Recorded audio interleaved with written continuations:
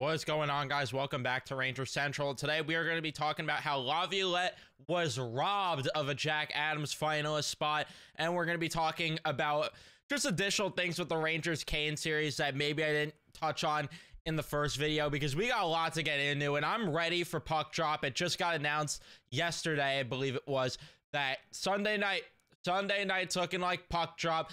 Lazzy said it's going to be a night game, so I trust him with that, and then We've heard all around. It's confirmed. It's on the NHL app at this point that Sunday is the game. It's just a matter of night or afternoon.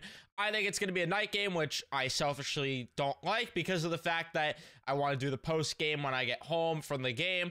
But it's going to be a pain because it's going to be late at night. But I digress. That, that's a me problem, not a you guys problem. Although it is a you guys problem if you do enjoy the post games, which if you do, I don't know how you do enjoy this stupid mouth talking, but I'm gonna stop talking about that.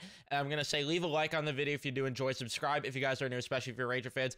Shout out to the members that are watching this in advance. I'm starting to release stuff for members first because I want to get the members more involved here. I want to start utilizing my membership program here more. So if you do want to join, you could start at $4.99 a month. There's different subscription tiers. You could go ahead and click the join button down below next to the subscribe button, I believe it is.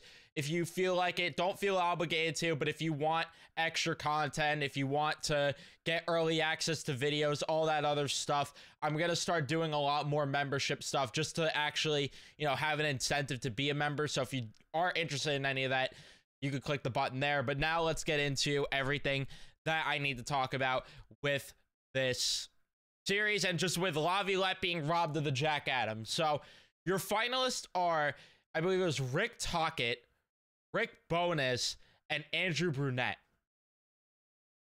So that I question why one of them I question specifically, why Rick Bowness? And my reasoning I question that is everyone's like, well, the Rangers were a predictable playoff team. I felt the Winnipeg Jets were a predictable playoff team, first of all. Second, no disrespect to Rick Bowness, and I do feel like I feel bad that he did have to miss time for what he did because it is horrible and nobody should have to go through some of the things that he had to go through between I think it was like passing in families and his wife being diagnosed with cancer and whatever else it might have been. And I do feel bad. Nobody deserves to go through that. Nobody. But quite frankly, he did miss time. And I don't understand how that gives him, how that puts him in a spot to get Jack Adams votes when he wasn't around the team the entire season. And again, I feel for him. And I'm sorry that he had to go through that. But at the same time, if we're going based strictly on who had an impact behind the bench, why is it that Rick Bowness gets the nod there. And not only that, even if you do want to give a shout here to Rick Bowness in terms of, you know, having an impact on the team, all that other stuff. Well, why is it that he gets Jack Adams votes for bringing a team that was in the playoffs last year? Let's see the point dif- uh, difference too. Was in the playoffs last year with 95 points to bring them to the playoffs this year with 110. Pretty big difference. I, I won't deny that.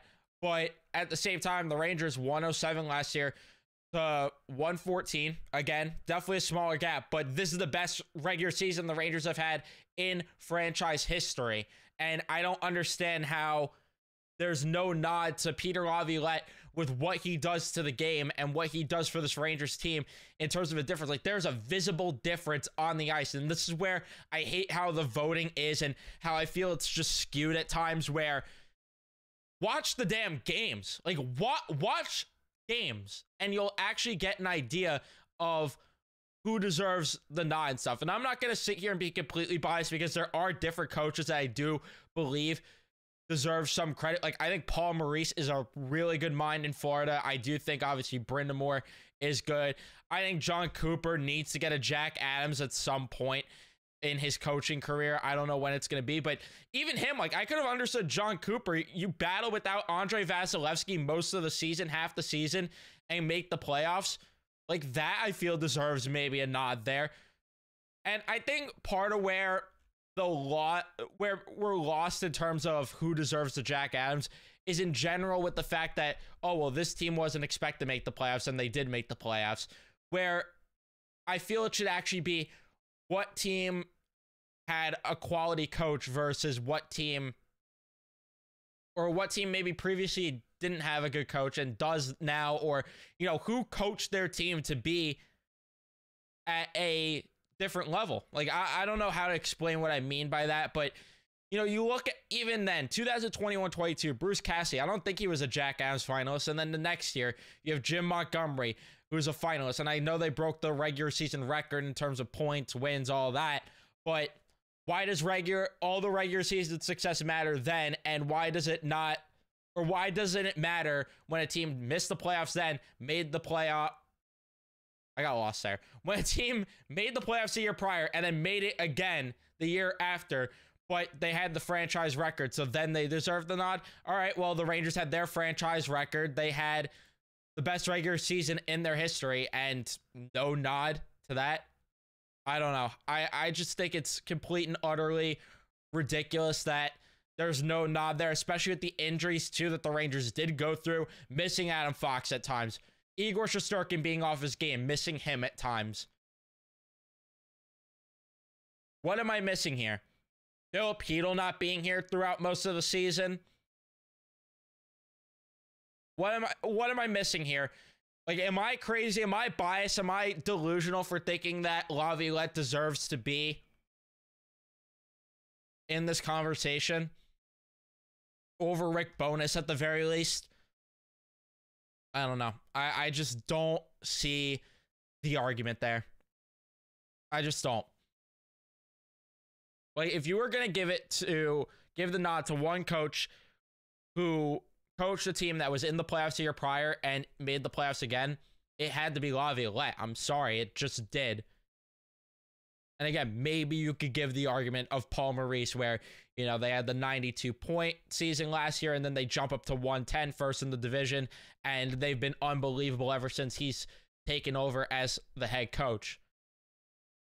But that's just me. That's just my opinion on that. But we will move on from ranting about that to talking about the greatness of Laviolette because it kind of does segue into the conversation here as to why I also think he deserves the nod because at practice yesterday he had the New York Rangers doing something that Gerard Gallant would actually never like he in a billion years would never even think of this. So Laviolette apparently at practice yesterday had the Rangers practicing Carolina's man-on-man defense or going against the man-on-man defense. And obviously that practice doesn't translate to games. And Carolina has that system down to perfection where the Rangers just simply don't. Like, that's just not how their game is.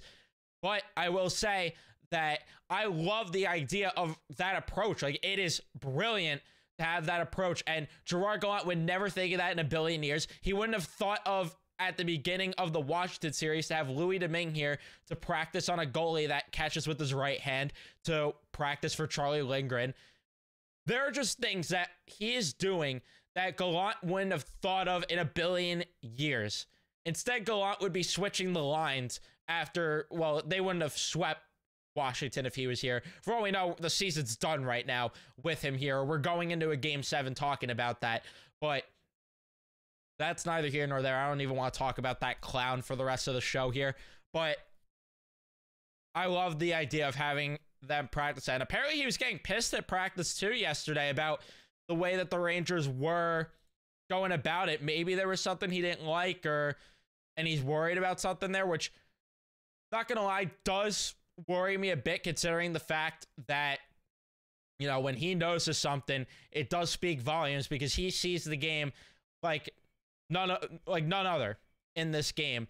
So it is a little concerning, but I'm not entirely concerned because of the fact that they have until Sunday to get things down pat, and I do believe in them to get it down pat, especially with a guy like him behind the bench that knows how to write things, right the ship here, and has pushed the right buttons all season long.